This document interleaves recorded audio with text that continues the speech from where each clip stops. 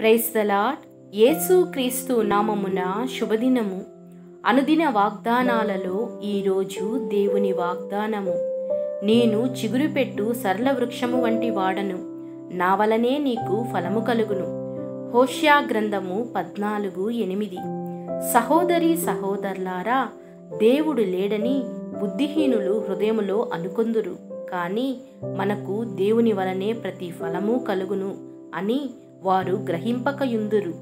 దేవాది దేవుడైన యహోవా ఆజ్ఞ ఇచ్చిచున్నాడు. తూర్పు దిక్కు మొదలుకొని పడమటి దిక్కు వరకు భూనివాసులను రమ్మని ఆయన పిలుచుచున్నాడు.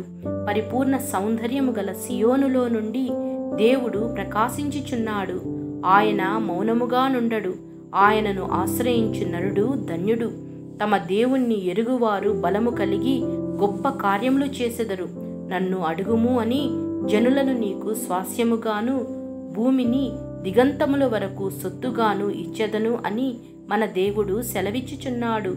యహోవా ధర్మశాస్త్రమునందు ఆనందించుచు దివారాత్రములు ఆయన ఎందు ధ్యానించువాడు ధన్యుడు అని ఆయన సెలవిచ్చుచున్నాడు. అతడు నీటి కాలవల యోరను నాటబడినదై ఆకు వాడక తన కాలమందు ఫలమిచ్చు చెట్టు వలె నుండును. అతడు చేయునదంతయు సఫలమగును. దేవా నీ ఆజ్ఞలను నేను ధ్యానించెదను. నీ కట్టడలను బట్టి నేను హర్షించెదను. నీ వాక్యముని నేను మరవకయుందును. నీవిచ్చిన మాటను అలక్ష్యము చేయను. దేవా దేవా నీవే నిత్యము మహోన్నతుడు వగుదువు ఆయన సత్యము కేడము డాలునయ్యున్నది ఆయన మనకు అధిక ఫలము అనుగ్రహించి ఉన్నాడు ఎండిన బ్రతుకులో ఫలము చిగుర్చువాడుగా నీ త్రోవలను సరళం చేసి నీవు చేయు ప్రయత్నంలో నిన్ను ఆశీర్వదించి ఉన్నాడు కనుక నీ హృదయమందు ఆనందించి నిబ్బరము కలిగి తన ద్వారా నీకు ఫలము కలుగునని నీవనుకునినప్పుడు దేవుడు తప్పక నీ పట్ల సకలము అనుగ్రహించును.